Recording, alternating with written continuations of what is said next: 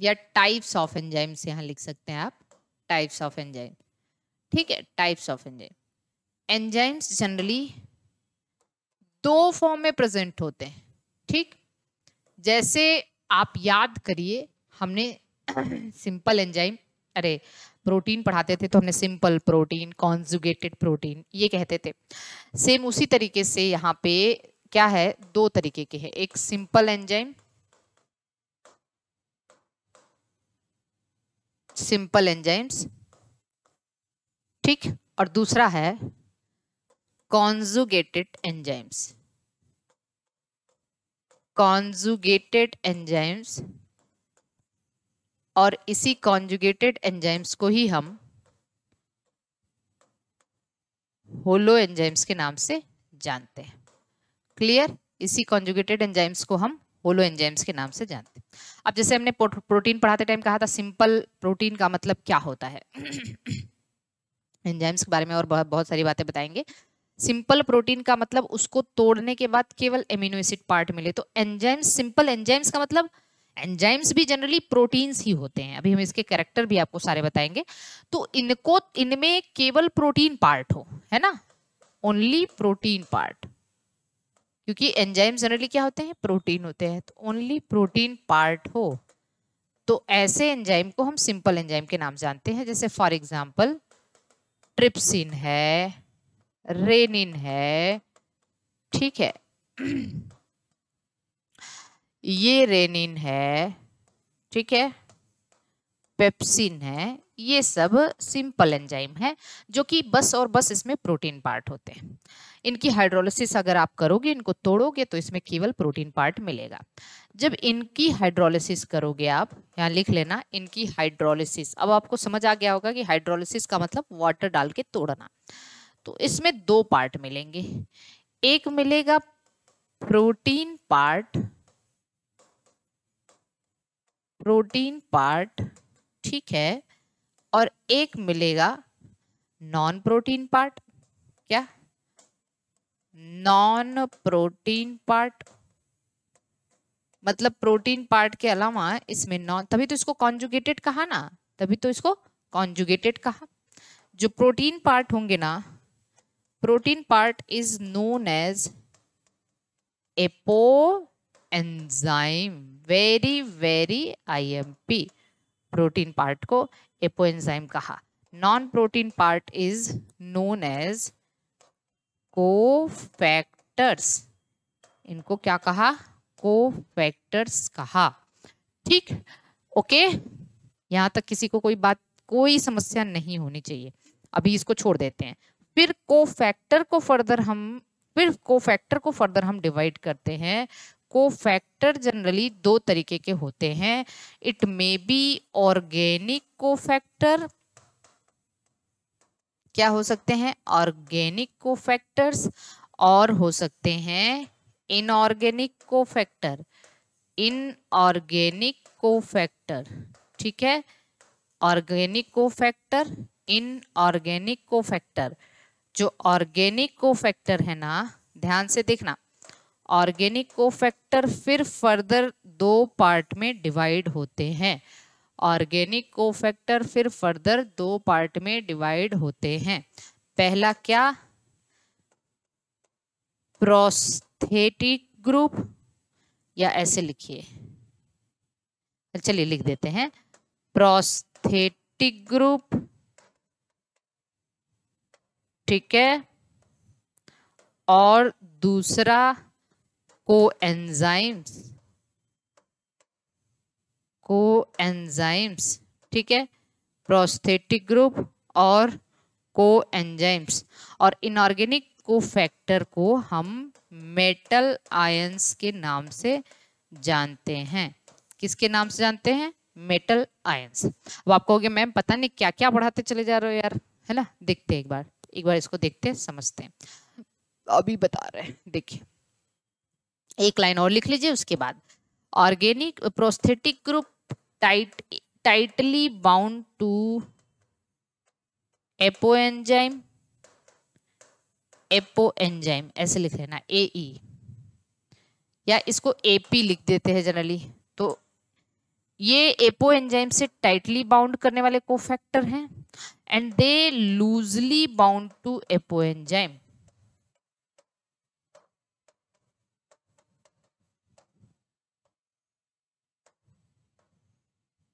ये apo enzyme से loosely bound होते हैं।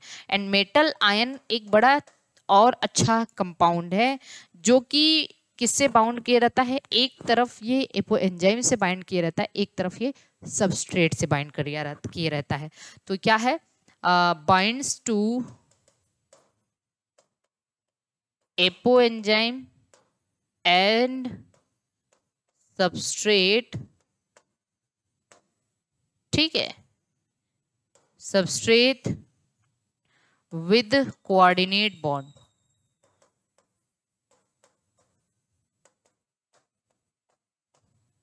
ठीक, इतनी बात पहले समझिए। अब समझना है। अब समझना ये है, ध्यान से समझिए। ये तो बात क्लियर कॉन्जुगेटेड एंजाइम्स को होलो एंजाइम्स कहते हैं। और होलो एंजाइम्स की अगर हम हाइड्रोलिसिस करते हैं तो इसमें हमें दो पार्ट मिलता है, एक प्रोटीन पार्ट एक नॉन प्रोटीन पार्ट ठीक है? अगर जो प्रोटीन पार्ट है इसको हम एपो एंजाइम कहते हैं और एपो एंजाइम इज़ वेरी आप कह सकते हैं कि आ, ये जो है essential part of the enzyme ठीक? और इसका दूसरा पार्ट नॉन प्रोटीन है जो कोफैक्टर्स है। अब देखना cofactor can be organic and cofactor can be inorganic जैसे बहुत सारे एंजाइम हैं जब आप देखते हो कि एक एंजाइम है उसके साथ एनएडी लगा है है ना? उसका कोफैक्टर एनएडी है, उसका को कोफैक्टर टीपीपी है, उसका कोफैक्टर एफएडी है तो क्या है? एफ़ एक कोफैक्टर है। उसका कोफैक्टर उसके साथ जिंक लगा है, उस एंजाइम के साथ।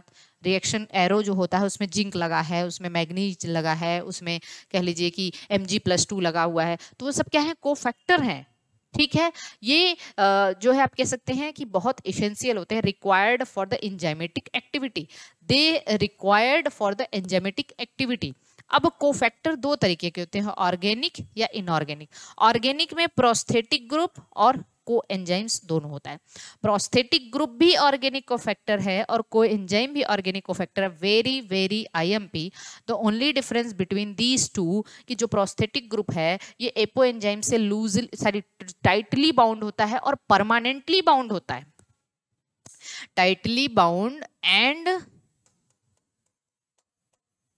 permanently bound लिख लीजिए। यार, देखिए हमारे पास जगह नहीं है भाई। परमानेंटली बाउंड लेकिन जो कोएंजाइम्स है, ये एपोएंजाइम से लूजली बाउंड होता है and only during reaction time लिखना है only during reaction time binds only during reaction time जब रिएक्शन हो, उसी वक्त बाइंड करता है किससे ये? एपोएंजाइम मतलब ये ये टेम्परली बाउंड करता है। तो दोनों डिफरेंस समझ आ गया। अच्छा इनऑर्गेनिक कोफैक्टर को मेटल आयन कहते ही हैं, है ना? अब एक बड़ी इंटरेस्टिंग सी बात आपको बताएँगे। प्रोस्थेटिक ग्रुप का एक आप एग्ज़ाम्पल लिख सकते हैं कि haem is prosthetic group haem एक प्रोस्थेटिक ग्रुप है in peroxidase and catalase enzyme and catalase enzyme दो एंजाइम पेरोक्सीडेज और कैटेलेज इसमें हीम एक इसका प्रोस्थेटिक ग्रुप है। ये यहाँ पे आप लिख लीजिएगा। हीम एक प्रोस्थेटिक ग्रुप है कैटेलेज और पेरोक्सीडेज एंजाइम का। अब हमें इसको और इसको बताएँ। इसलिए कभी आपसे पूछा जाता है व्हाट इज़ होलो एंजाइम इसी बीच में हम लिख दे रहे हैं, तब तो आपको समझ में आ जाना चाहिए। इसी बीच में हम लिख रहे हैं व्हाट इज़ होलो एंजाइम तो आप कहते हो होलो एंजाइम क्या है? ऐसे क्वेश्चन आते हैं ना होलो एंजाइम्स तो होलो एंजाइम्स बराबर what you can write down कि एपो एंजाइम प्लस कोफैक्टर लिख सकते हो। Apo enzyme plus cofactor is the holo enzyme या फिर, भाई apo enzyme plus prosthetic group लिख सकते हो। लिख सकते हो कि नहीं? भाई कोफैक्टर प्रोस्थेटिक ग्रुप भी तो होता है ना? हर हर एंजाइम में अपना अलग अलग को फैक्टर होगा। किसी का प्रोस्थेटिक ग्रुप को फैक्टर होगा, किसी का को एंजाइम होगा, किसी का मेटल आयन होगा। इसको हम ऐसे भी लिख सकते हैं apo enzyme plus coenzymes यहाँ भी कोई दिक्कत नहीं है, क्योंकि को एंजाइम खुद एक को फैक्टर है। Apo enzyme plus metal ion इतनी चीज़ें लिख सकते हैं भाई हम होलो एंजाइम्स को। तो होलो एंजाइम्स के बारे में हम इतनी बातें लिख सकते हैं कि होलो एंजाइम क्या है? जनरली यही पूछा जाता है।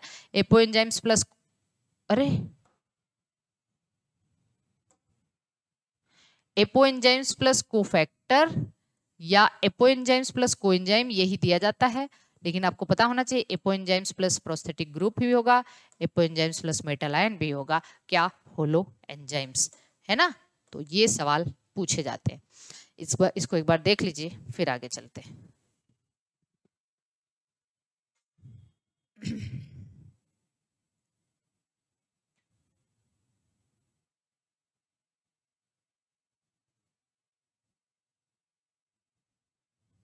ठीक है, आगे चले। चलिए, देखिए।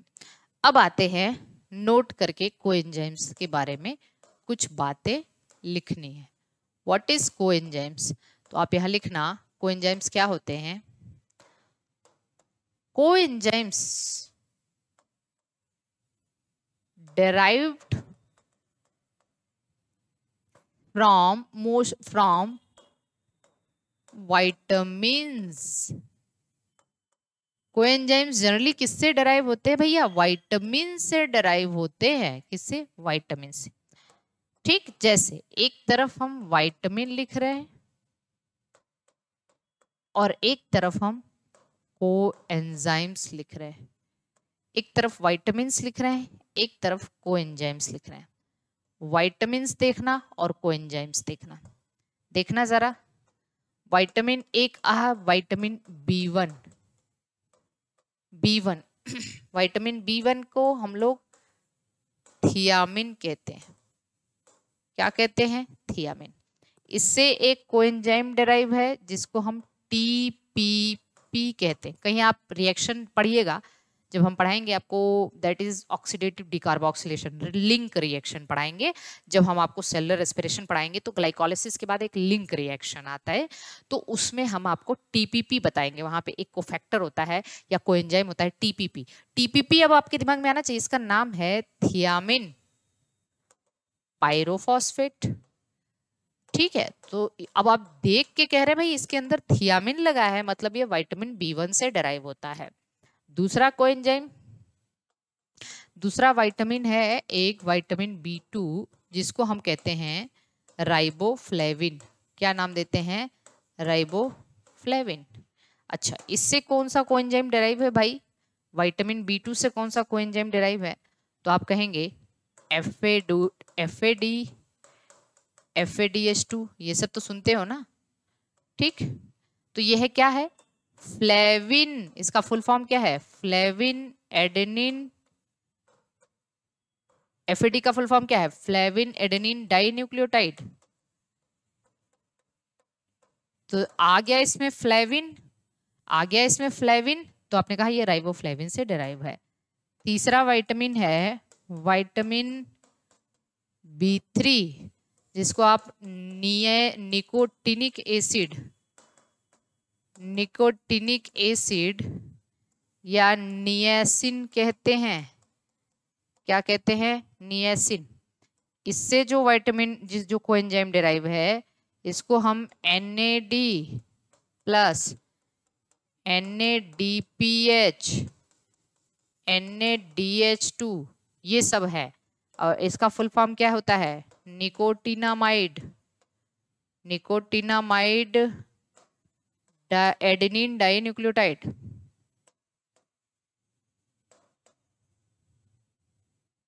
Adenine dinucleotide dinucleotide अच्छा एक चीज़ और सुन ले, सुन लीजिए। यहाँ पे एफएमएन भी होता है। भूलना मत। F M N flavin mononucleotide, है ना? चलिए यहाँ तक क्लियर इसके बाद आप आ जाइए. विटामिन बी फोर तो होता नहीं बी फाइव होता है, जिसको हम पेंटोथेनिक एसिड कहते हैं. पेंटोथेनिक एसिड कहते हैं. विटामिन बी फाइव से जो कोएंजाइम डेराइव है, उसको कहा जाता है कोएंजाइम ए इसका नाम थोड़ा अलग हो गया. Vitamin B six vitamin B six जिसको पायरिडॉक्सिन कहते हैं. पायरिडॉक्सिन, इससे जो कोएंजाइम डेराइव है, इसको पीपी नाम देते हैं।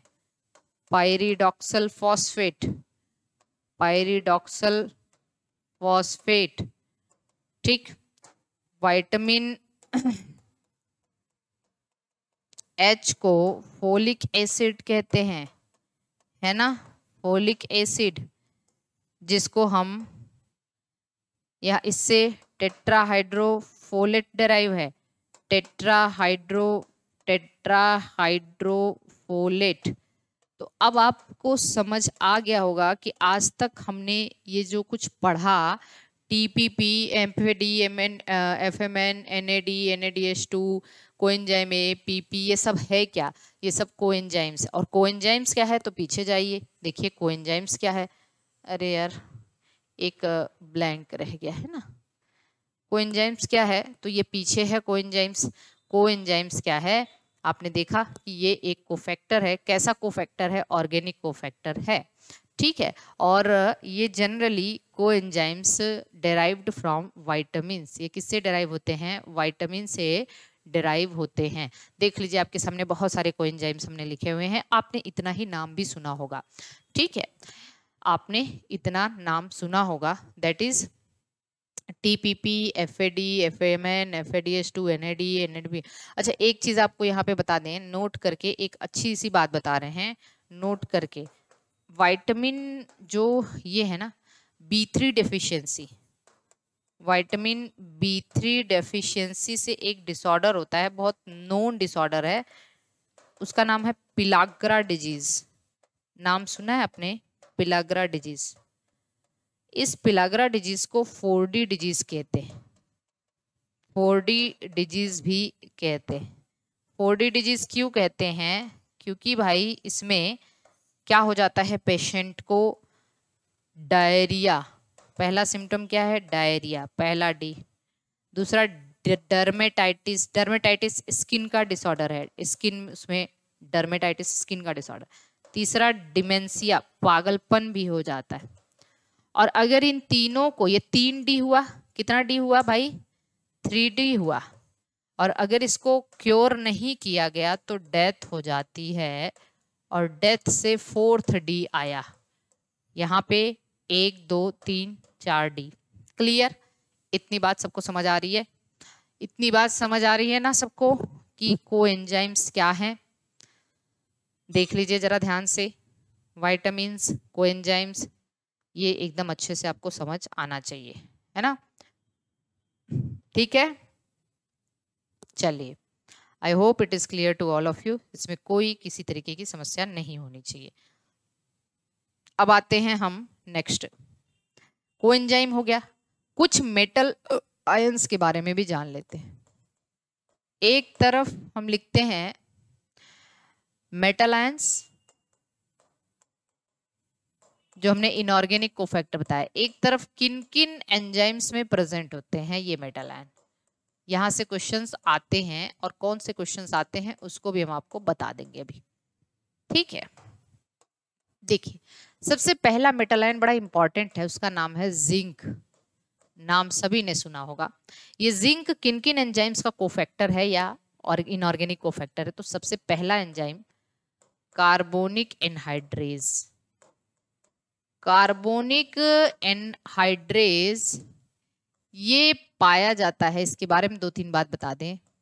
ये पाया जाता है in plasma membrane of RBC RBC में पाया जाता है ये, और this is the fastest enzyme ये सबसे फास्टेस्ट एंजाइम है। और तीसरी बात कि ये वाटर इसका ये जो रिएक्शन कैटलाइज करता है, वो क्या होता है? वाटर को कार्बन डाइऑक्साइड से रिएक्ट करके H2CO3 में, ठीक है? और H2CO3 को फिर H प्लस और बाई कार्बोनेट आयन में तोड़ने का काम भी कार्बोनिक एनहाइड्रेस का ही होता है। किसका? कार्बोनिक हाइड्रेस ये बात आपको अच्छे से पता होनी चाहिए। जिंक और किसका कोफैक्टर है? तो ये एल्कोहल डिहाइड्रोजिनेज का है। एल्कोहल डीहाइड्रोजिनेज का है। जिंक और किसका कोफैक्टर है? तो ये कार्बोक्सी पेप्टिडेज एंजाइम का है। कार्बोक्सी पेप्टिडेज एंजाइम का है। ठीक है, समझ तो आ रहा है ना? बहुत शांति से पढ़ रहे हैं हम लोग। एकदम अच्छे से पढ़िए। तो ये एक जिंक की कहानी है। चलिए, दूसरा देखते हैं। आपने नाम सुना होगा एम जी प्लस टू तो एम जी प्लस टू कहाँ होता है भाई? तो सबसे पहली चीज़ तो हेक्सोकाइनेज एंजाइम हेक्सोकाइनेज एंजाइम आप देखेंगे ना तो ये ग्लाइकोलिसिस का फ़र्स्ट एंजाइम है। ये एग्ज़ाम में पूछा गया था अभी। First enzyme of glycolysis glycolysis पढ़ेंगे ना हम लोग? ग्लाइकोलिसिस पढ़ेंगे तो ग्लूकोज जब ग्लूकोज सिक्स फॉस्फेट में चेंज होता है तो यहीं पे लगता है हेक्सोकाइनेज ठीक है? इसके बाद ये रूबिस्को रूबिस्को में भी पाया जाता है। रूबिस्को पढ़ा रखे हैं हमने कैलविन साइकिल का फ़र्स्ट एंजाइम। तो this is the first enzyme of Calvin cycle first enzyme of C three cycle. C three cycle को हम कैलविन साइकिल भी कहते हैं। उसके बाद पेपकेस पेपकेस का नाम है phosphoenol pyruvate kinase. And this is the first enzyme of C4 pathway. ठीक है? C4 pathway में पहला एंजाइम यही होता है। तो इतनी बात आपको पता होनी चाहिए किसके बारे में भाई? एम जी प्लस टू के बारे में। ये इन इन एंजाइम्स का कोफैक्टर है। चलिए एम एन प्लस टू दूसरे कलर से बना दें।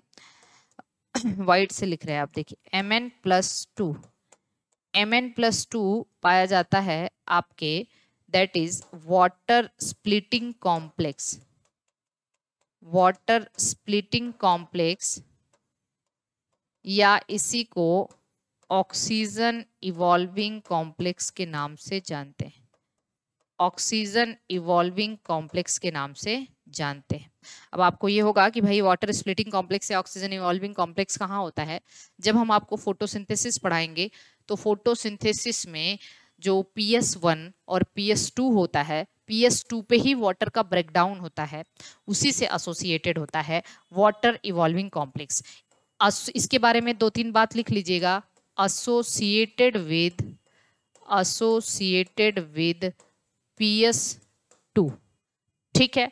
दूसरी चीज़, इसमें, इसका प्रिकर्सर है tyrosine amino acid tyrosine amino acid. तीसरी चीज़, इसमें फोर मैग्नीज होते हैं। इसके अलावा टू कैल्शियम आयन होता है। इसके अलावा वन क्लोराइड आयन होता है।